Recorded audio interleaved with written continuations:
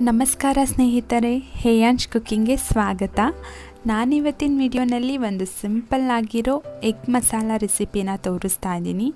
So, ತಡ ಮಾಡದೆ ರೆಸಿಪಿನ ಹೇಗೆ ಮಾಡೋದು ನೋಡೋಣ. ಮೊದಲಿಗೆ ನಾನು ಮಸಾಲೆನ ರೆಡಿ ಮಾಡ್ಕೋತಾ ಇದ್ದೀನಿ. ಅದಕ್ಕೆ ಎರಡು ದೊಡ್ಡ ಸೈಜಿನ ಈರುಳ್ಳಿನ ಹಾಕೋತಾ ಇದ್ದೀನಿ. ಹಾಗೆ ಖಾರಕ್ಕೆ ಒಂದು ಆರು ಹಸಿರು ಮೆಣಸಿನಕಾಯಿ, ಒಂದು ಕಪ್ ಆಗೋಷ್ಟು ಕೊತ್ತಂಬರಿ ಸೊಪ್ಪು, ಹಾಗೆ ಒಂದು ಕಪ್ಪಷ್ಟು ಪುದೀನ ಹಾಕೋತಾ ಇದ್ದೀನಿ.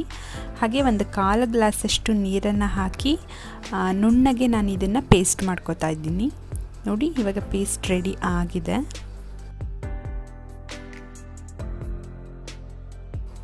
ನೆಕ್ಸ್ಟು ಗ್ರೇವಿ ಮಾಡ್ಕೊಳ್ಳೋದಕ್ಕೆ ಒಂದು ಪ್ಯಾನಿಗೆ ಕಾಲು ಕಪ್ ಆಗೋಷ್ಟು ಎಣ್ಣೆನ ಹಾಕಿ ಚೆನ್ನಾಗಿ ಬಿಸಿ ಮಾಡ್ಕೋತಾ ಇದ್ದೀನಿ. ಅದು ಚೆನ್ನಾಗಿ ಬಿಸಿ ಆದಮೇಲೆ ರುಬ್ಕೊಂಡಿರೋ ಅಂತಹ ಮಸಾಲೆನ ಹಾಕೋತಾ ಇದ್ದೀನಿ. ಈ ಮಸಾಲೆನ ಹಾಕೊಳ್ಳುವಾಗ ನಮ್ಮದು ಸ್ಟವ್ ಫ್ಲೇಮ್ ಲೋನಲ್ಲಿ ಇಟ್ಕೊಂಡಿರಬೇಕು. ಜಾರ್ನಲ್ಲಿ ಇರುವಂತಹ ಎಕ್ಸ್ಟ್ರಾ ಮಸಾಲೆನ ಒಂದು ಗ್ಲಾಸ್ ನೀರು ಹಾಕಿಬಿಟ್ಟು ನಾನಿಲ್ಲಿ ಆ್ಯಡ್ ಮಾಡ್ಕೋತಾ ಇದ್ದೀನಿ. ಹಾಗೆ ಈ ಮಸಾಲೆನಲ್ಲಿ ಇರುವಂತಹ ಹಸಿ ವಾಸನೆ ಹೋಗೋವರೆಗೂ ಇದನ್ನು ನಾವು ಒಂದು ಎರಡು ಮೂರು ನಿಮಿಷಗಳ ಕಾಲ ಕುಕ್ ಮಾಡ್ಕೋಬೇಕು. ಇದನ್ನು ನಾವು ಗ್ರೇವಿ ಟೈಪ್ ಮಾಡ್ಕೊಳ್ಳೋದ್ರಿಂದ ಕನ್ಸಿಸ್ಟೆನ್ಸಿ ನೋಡಿಕೊಂಡು ನೀವು ನೀರನ್ನು ಆ್ಯಡ್ ಮಾಡ್ಕೋಬೇಕಾಗತ್ತೆ. ಇವಾಗ ಇದು ಒಂದು ಎರಡು ಮೂರು ನಿಮಿಷ ಚೆನ್ನಾಗಿ ಕುಕ್ ಆಗಿದೆ. ನೆಕ್ಸ್ಟ್ ನಾನು ಇದಕ್ಕೆ ಒಂದು ಸ್ಪೂನಷ್ಟು ಹಸಿ ಶುಂಠಿ ಬೆಳ್ಳುಳ್ಳಿ ಪೇಸ್ಟ್ನ ಆ್ಯಡ್ ಮಾಡಿ ಚೆನ್ನಾಗಿ ಮಿಕ್ಸ್ ಮಾಡ್ಕೋತಾ ಇದ್ದೀನಿ. ಹಾಗೆ ಆ ಶುಂಠಿ ಬೆಳ್ಳುಳ್ಳಿ ಪೇಸ್ಟ್ ಹಸಿ ವಾಸನೆ ಹೋಗೋವರೆಗೂ ಒಂದು ಎರಡು ಮೂರು ನಿಮಿಷಗಳ ಕಾಲ ನಾವು ಅದನ್ನು ಚೆನ್ನಾಗಿ ಬೇಯಿಸ್ಕೋಬೇಕು. ಇವಾಗ ಇದು ಚೆನ್ನಾಗಿ ಕುಕ್ ಆಗಿದೆ. ನೆಕ್ಸ್ಟ್ ನಾನು ಇದಕ್ಕೆ ಸ್ಪೈಸಸ್ನ ಆ್ಯಡ್ ಮಾಡ್ತಾ ಇದ್ದೀನಿ. ಒಂದು ಅರ್ಧ ಸ್ಪೂನಷ್ಟು ಧನಿಯಾ ಪೌಡರ್ ಹಾಗೆ ಅರ್ಧ ಸ್ಪೂನಷ್ಟು ಗರಂ ಮಸಾಲ, ಅರ್ಧ ಸ್ಪೂನಷ್ಟು ರೆಡ್ ಚಿಲ್ಲಿ ಪೌಡರ್ನ ಹಾಕಿ ಎಲ್ಲನೂ ಚೆನ್ನಾಗಿ ಮಿಕ್ಸ್ ಮಾಡ್ಕೋತಾ ಇದ್ದೀನಿ. ತುಂಬ ಖಾರ ಇಷ್ಟಪಡೋರು ಬೇಕಿದ್ದರೆ ರೆಡ್ ಚಿಲ್ಲಿ ಪೌಡರ್ ಕ್ವಾಂಟಿಟಿನ ಜಾಸ್ತಿ ಮಾಡ್ಕೋಬೋದು.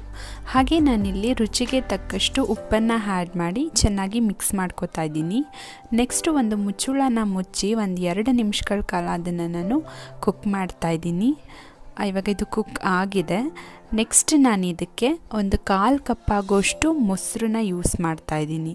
ಮೊಸರು ಇಷ್ಟಪಡದೇ ಇರೋರು ಮೊಸರು ಬದಲಾಗಿ ಟೊಮೊಟೊ ಪೇಸ್ಟ್ನ ಯೂಸ್ ಮಾಡ್ಕೋಬೋದು. ಹುಳಿ ಟೊಮೊಟೊನ ಯೂಸ್ ಮಾಡ್ಕೋಬೋದು. ಅದನ್ನು ಕಟ್ ಮಾಡಿ ಮಿಕ್ಸಿನಲ್ಲಿ ಪೇಸ್ಟ್ ಮಾಡಿ ಹಾಕೋಬೋದು. ನೆಕ್ಸ್ಟ್ ಇದನ್ನೆಲ್ಲ ಚೆನ್ನಾಗಿ ಮಿಕ್ಸ್ ಮಾಡಿ ಪ್ಲೇಟ್ನ ಮುಚ್ಚಿ ಒಂದು ಎರಡು ನಿಮಿಷಗಳ ಕಾಲ ಮತ್ತೆ ನಾನು ಕುಕ್ ಮಾಡ್ತಾಯಿದ್ದೀನಿ ಹಾಗೆ ನಾನಿಲ್ಲಿ ಬೇಯಿಸಿಟ್ಕೊಂಡಿರೋ ಅಂತಹ ಮೊಟ್ಟೆನ ಯೂಸ್ ಮಾಡ್ತಾ ಇದ್ದೀನಿ. ಮೊಟ್ಟೆನ ಎರಡು ಪೀಸಸ್ ಆಗಿ ಮಾಡ್ಕೋತಾ ಇದ್ದೀನಿ. ಈ ರೀತಿ ಮಾಡಿ ಹಾಕೊಳ್ಳೋದ್ರಿಂದ ಮೊಟ್ಟೆಗೆ ಮಸಾಲೆ ಎಲ್ಲ ಚೆನ್ನಾಗಿ ಹೊಂದ್ಕೊಳ್ಳುತ್ತೆ.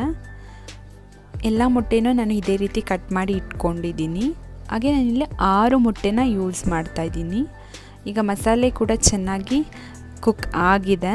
ನೆಕ್ಸ್ಟ್ ಅದನ್ನು ಒಂದು ಸಲ ಚೆನ್ನಾಗಿ ಮಿಕ್ಸ್ ಮಾಡಿ ಕಟ್ ಮಾಡಿ ಇಟ್ಕೊಂಡಿರೋ ಅಂತಹ ಮೊಟ್ಟೆ ಪೀಸಸ್ನ ಹಾಕೋತಾ ಇದ್ದೀನಿ.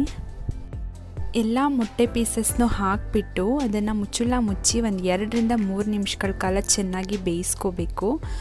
ಸೊ ಆ ಮೊಟ್ಟೆ ಜೊತೆ ಆ ಮಸಾಲೆ ಎಲ್ಲ ಚೆನ್ನಾಗಿ ಹೊಂದ್ಕೊಳ್ಳುತ್ತೆ. ಇವಾಗ ಒಂದು ಸೈಡ್ ಮೊಟ್ಟೆ ಮಸಾಲೆ ಜೊತೆ ಚೆನ್ನಾಗಿ ಹೊಂದ್ಕೊಂಡಿದೆ. ನೆಕ್ಸ್ಟ್ ನಾವು ಒಂದೊಂದೇ ಪೀಸಸ್ನ ನಿಧಾನಕ್ಕೆ ಅದನ್ನು ಉಲ್ಟಾ ಮಾಡಿ ಮತ್ತೆ ಒಂದು ಎರಡರಿಂದ ಮೂರು ನಿಮಿಷಗಳ ಕಾಲ ಲೋ ಫ್ಲೇಮಲ್ಲೇ ಬೇಯಿಸ್ಕೋಬೇಕು. ನಿಧಾನಕ್ಕೆ ತಿರುಗಿಸ್ಕೋಬೇಕು. ನಾವು ಜೋರಾಗಿ ತಿರುಗಿಸ್ಕೊಂಡ್ರೆ ಆ ಮೊಟ್ಟೆ ಒಳಗಡೆ ಇರೋ ಎಲ್ಲೋ ಏನಿದೆಯಲ್ಲ ಅದೆಲ್ಲ ಕಲಸೋಗ್ಬಿಡುತ್ತೆ. ಇವಾಗ ಇದು ಚೆನ್ನಾಗಿ ಕುಕ್ ಆಗ್ತಿದೆ. ನೆಕ್ಸ್ಟ್ ನಾನು ಇದಕ್ಕೆ ಸ್ವಲ್ಪ ಹಸಿ ಕೊತ್ತಂಬರಿ ಸೊಪ್ಪನ್ನ ಹಾಕಿ ಅದನ್ನು ಸಹ ನಿಧಾನಕ್ಕೆ ಮಿಕ್ಸ್ ಮಾಡ್ಕೋತಾ ಇದ್ದೀನಿ. ಇದನ್ನು ಸಹ ನಿಧಾನಕ್ಕೆ ಜಸ್ಟ್ ಮೇಲೆ ಮೇಲೆ ಮಿಕ್ಸ್ ಮಾಡಿಕೊಂಡ್ರೆ ಸಾಕು. ನೋಡಿ ಎಗ್ ಮಸಾಲ ರೆಡಿ ಆಗಿದೆ. ಇದನ್ನು ನಾವು ಪೂರಿ, ಚಪಾತಿ, ದೋಸೆ ಅಥವಾ ಊಟಕ್ಕೆ ಸೈಡ್ ಡಿಶ್ ಹಾಗೂ ಸಹ ನಾವು ಇದನ್ನು ಸರ್ವ್ ಮಾಡ್ಬೋದು. ಈ ರೆಸಿಪಿ ನಿಮಗೆ ಇಷ್ಟ ಆದರೆ ಲೈಕ್ ಶೇರ್ ಕಮೆಂಟ್ ಮಾಡಿ. ಹಾಗೆ ಯಾರೆಲ್ಲ ನನ್ನ ಚಾನಲ್ಗೆ ಸಬ್ಸ್ಕ್ರೈಬ್ ಆಗಿಲ್ಲ ಸಬ್ಸ್ಕ್ರೈಬ್ ಆಗಿ ಪಕ್ಕದಲ್ಲಿರೋ ಬೆಲೈಕಾನ್ನ ಪ್ರೆಸ್ ಮಾಡಿ. ಸೊ ನನ್ನ ಎಲ್ಲ ವಿಡಿಯೋ ಅಪ್ಡೇಟ್ಸ್ ಕೂಡ ನಿಮಗೆ ಸಿಗುತ್ತೆ. Thanks for watching